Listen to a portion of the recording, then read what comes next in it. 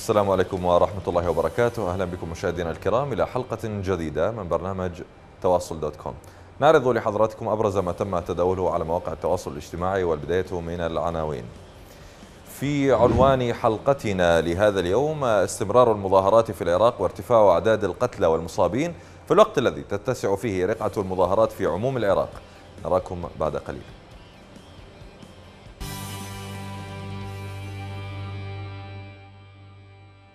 أهلا بكم. مشاهدينا الكرام نعرض لكم اليوم السلسلة من المقاطع التي تنفصل بها كل على حدة محافظة عراقية وسنعرض في هذه الحلقة ثمان محافظات عراقية خرجت بمظاهرات حاشدة. نبدأ من العاصمة بغداد حيث نتابع في أول مقطع لدينا من العاصمة قمع المظاهرات في ساحة التحرير وسط بغداد من قبل القوات الحكومية.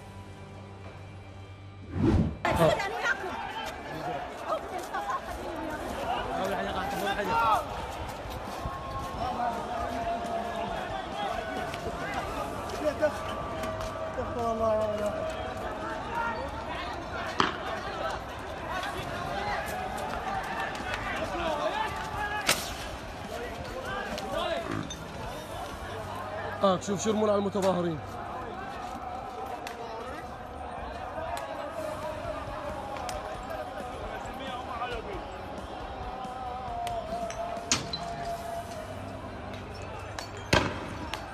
لك ليش لك نقص؟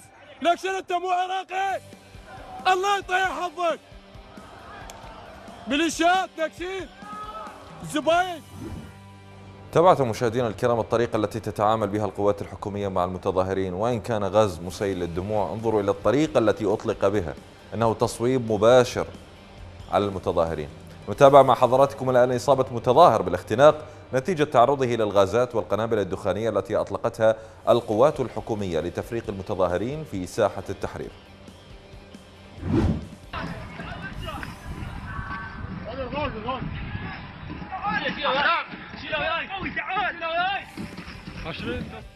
ونستمر في بغداد حيث نتابع إصابة متظاهر في ساحة التحرير في العاصمة بغداد أيضا.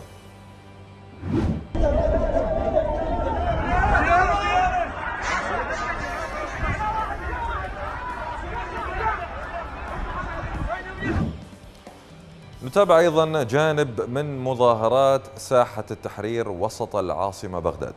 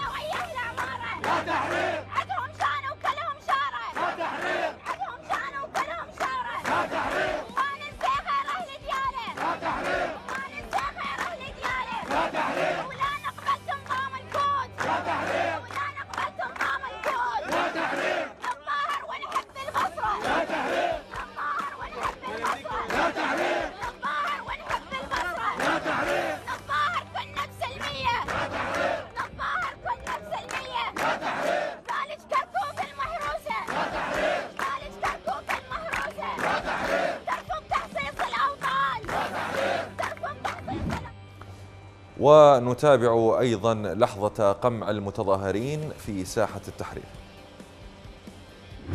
جات هيك يسوون ويا مظاهرين. مع الاسف والله يقولون إحنا عراقيين. ويقولون إحنا عراقيين. باع باع بعد كم يصير مظاهرين؟ باع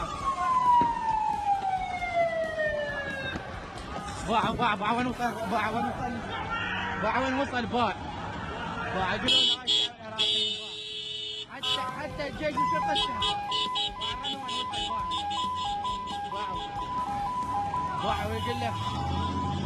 باعوا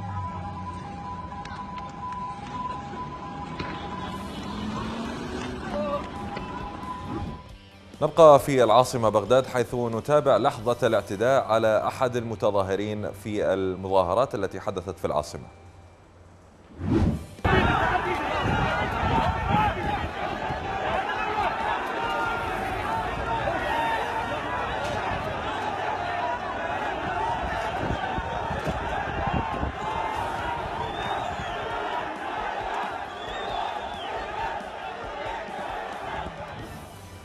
في بغداد ونتابع لحظة رش المتظاهرين في بغداد بالمياه الحارة لتفرقتهم لكن هذه المياه لم تمنع المتظاهرين.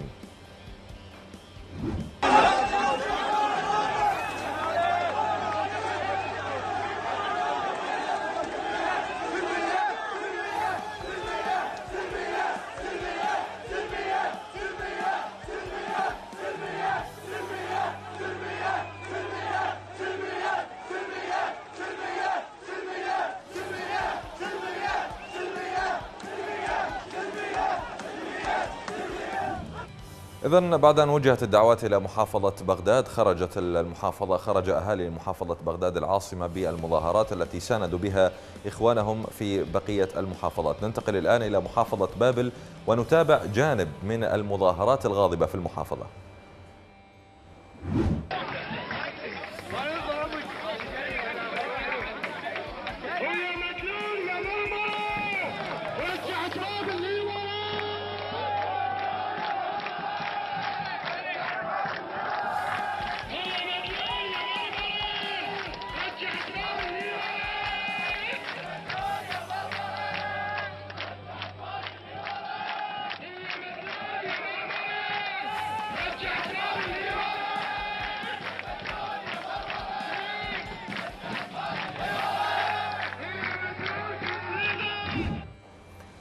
ونبقى في آه، محافظة بابل حيث آه، طرد مراسل أحد القنوات الفضائية التابعة للأحزاب والميليشيات بعد رفضه لهتافات المتظاهرين ضد الأحزاب في محافظة بابل.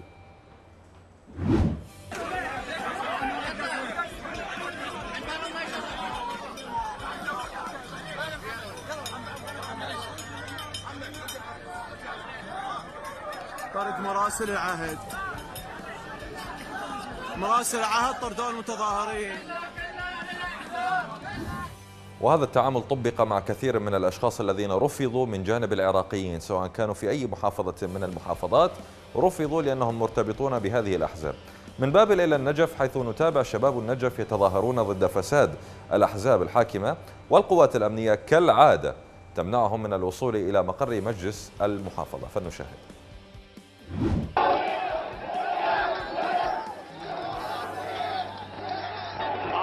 ضربوا متظاهرين. في وادم راحة السلمية وضربوهم. شفيكم محمد. ما حد اذاله واحد. زين. ذول اسواد متجمعين بتحت الصدرين وضربوهم. من النجف يوم الجمعة. زين.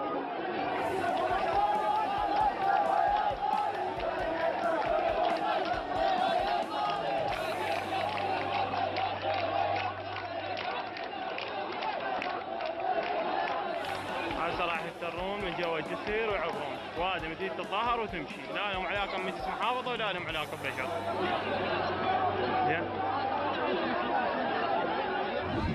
نبقى في محافظة النجف حيث تظاهر الآلاف من العراقيين في المحافظة وجابوا شوارع النجف هاتفين ضد الأحزاب الحاكمة.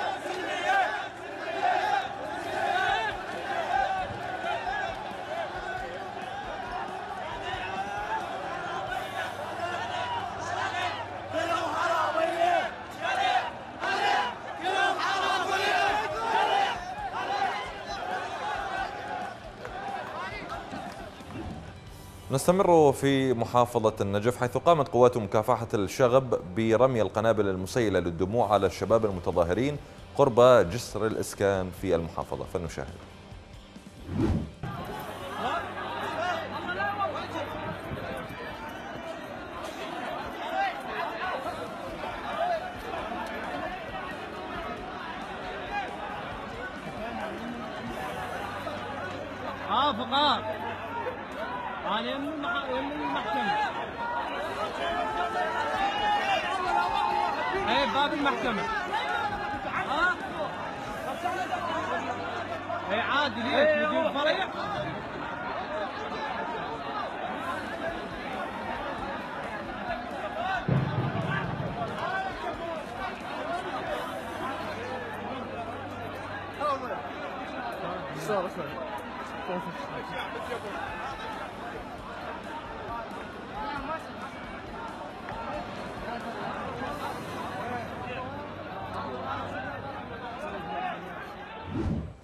من النجف إلى كربلاء حيث قامت جموع المتظاهرين في محافظة كربلاء بالخروج هاتفة ضد الفاسدين والأحزاب الحاكمة في العراق. فلنشاهد.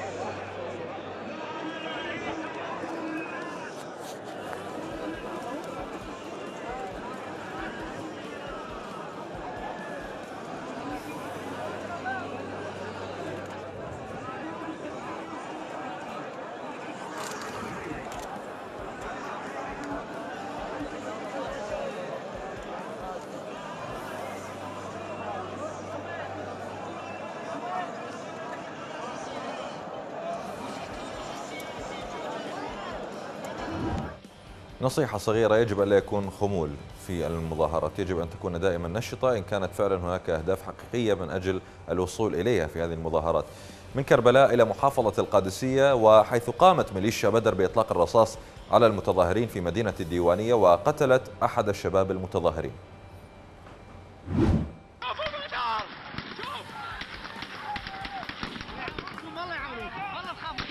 شوف الزبالة هذا الشرطي البطل ما يرمي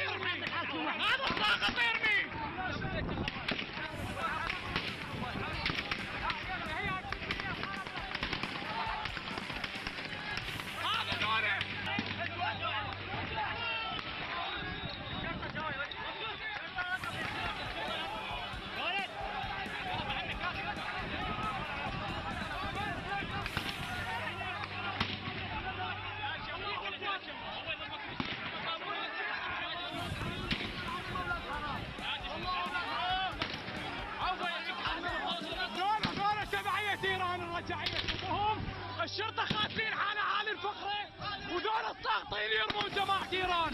دول الساقطين يرمون هذا الشرطي البطل شوفها شوف شوف رمي شوف. ربكم الله أكبر. الله أكبر. خلي يرمي السحسي خلي يرمي باطلين خلي يرمي على ابونا ابو شرف. تابعتم مشاهدينا الكرام إطلاق الرصاص من الميليشيات والأمن يقف متفرجا. هذه هي الكارثة الموجودة الآن في العراق. نتابع مع حضراتكم لحظة مقتل أحد المتظاهرين برصاص حرس مقر ميليشيا بدر في مدينة الديوانية بمحافظة القادسية.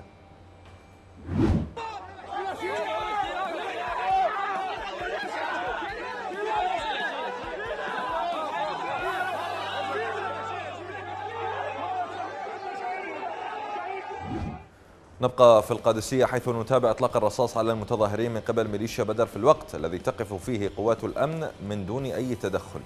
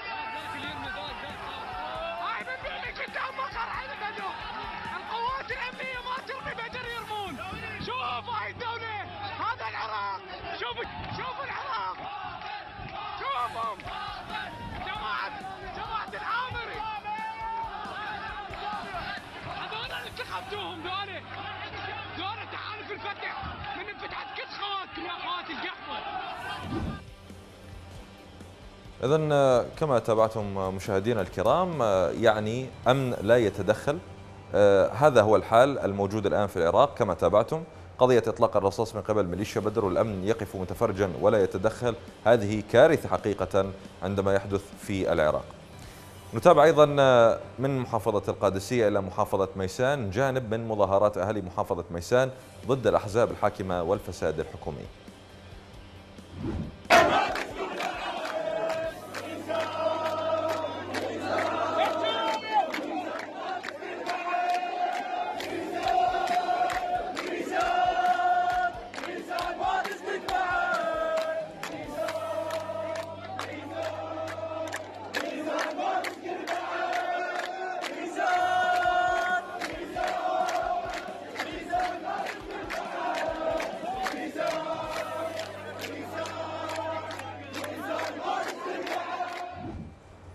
من محافظة ميسان إلى محافظة ذي قار المتظاهرون في مدينة الناصرية مركز محافظة ذي قار يهتفون الشعب يريد إسقاط النظام.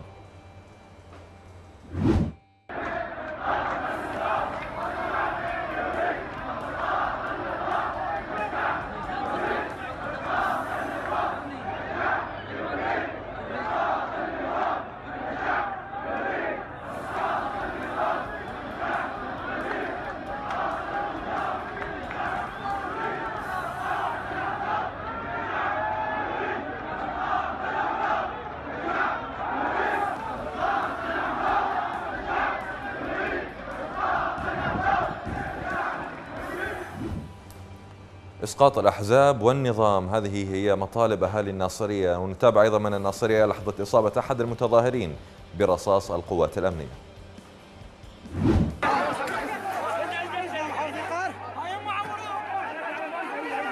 هذا دقوه هذا دقوه شوفوا هذا افعاله هذا افعاله هذا افعاله هذا هم اصحاب الاحزاب جماعية ايران الله لا يوفقكم لاحظوا لاحظوا يرمون المتظاهرين بالحجار والقنابل الدخانية وننتقل إلى محافظة البصرة. متظاهرو مدينة البصرة يؤكدون على استمرار التظاهر وعدم السكوت. فلنشاهد.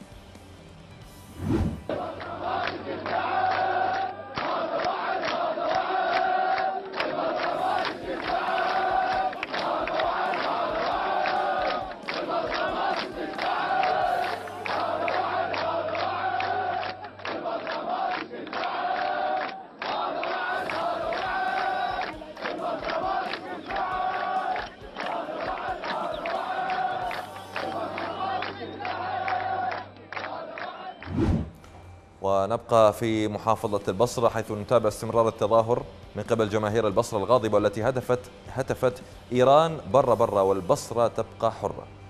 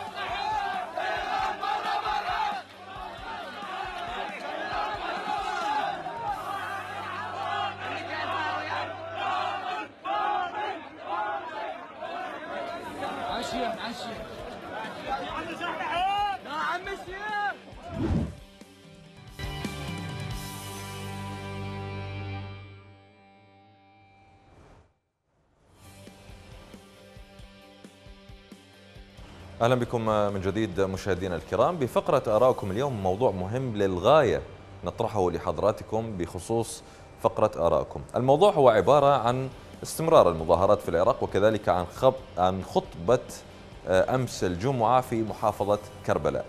الخطبة ألقاها ممثل المرجعية عبد المهدي الكربلائي والذي يبدو أنه نسي أو تناسى ما يمر به العراق حيث خصص الخطبة لتكون عن موضوع الحسد في حين أن العراق يشهد مظاهرات عارمة.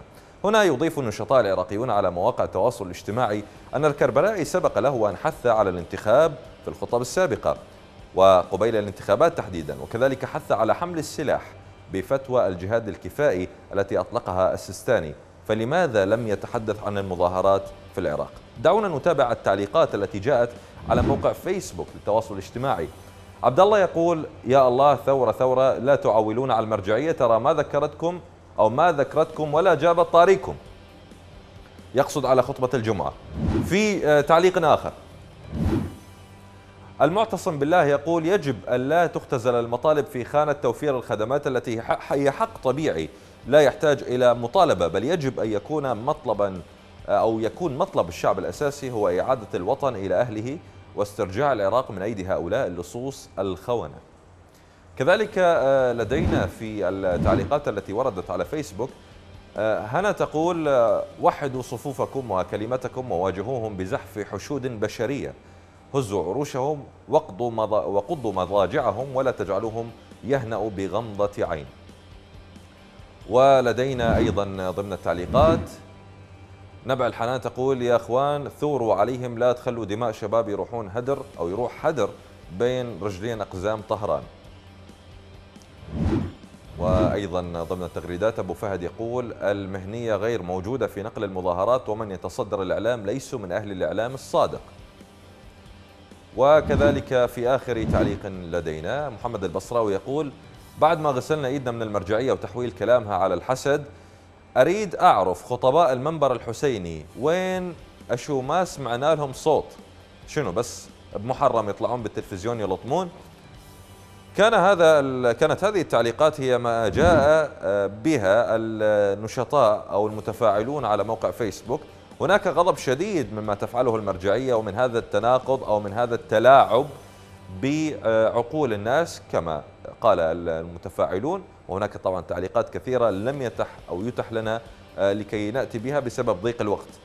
المرجعية التي تتحدث عن ال- ال- عن الانتخابات والتي حثت على الانتخاب وحثت على تجريب ال- الغير مجرب دعت إلى الانتخاب وحثت على حمل السلاح وغيرها من أمور أخرى دعت إليها في حين أن المظاهرات عندما حدثت الآن وأهالي النجف وكربلاء الذين خرجوا بسبب معاناتهم لم تتطرق إليهم المرجعية بأي كلمة في خطب الجمعة التي مضت. نراكم بعد قليل.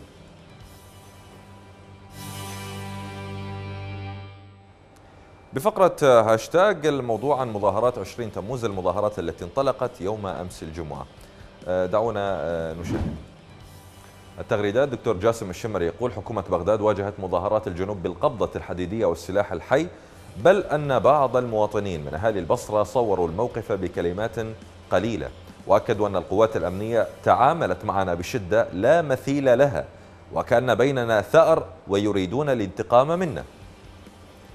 وفي تغريدة أخرى صهيب يقول كافي فساد ودمار وبوق وغيره وغيره هاي ثورة ضد كل من خرب البلد وتأجر به. الله يحفظكم وينصركم ويوفقكم تحياتي لكل أهل الجنوب. أيضا من ضمن التغريدات التي جاءت أحمد الزريجاوي يقول لماذا الاستهانة بهذا الشعب العظيم الذي عاش الظلم في كل الأزمان؟ تحية إلى كل من انتخب الفاسدين أنت وأمثالك شريك معه بالفساد. وفي آخر التغريدات التي جاءت بهذا الوسم أو على هذا الوسم علي يقول كل من انتخب فاسد طيلة السنوات السابقة يتحمل مسؤولية ما حصل وما يحصل وما سيحصل. إذا هكذا تفاعل النشطاء العراقيون على هذا الوسم. طبعا المتزامن مع الانتفاضة التي تشهدها المحافظات العراقية وهذه المظاهرات. وبالتالي هناك دعم كبير جدا من المجتمع العراقي لهذه المظاهرات وغضب كبير جدا من من يحاولون تدميرها اعتداء عليها تفكيكها إن كان بالسلاح أو بالكلمات. مشاهدينا وصلنا إلى ختام الحلقة. نشكركم شكرا جزيلا لطيب المتابعة وإلى اللقاء.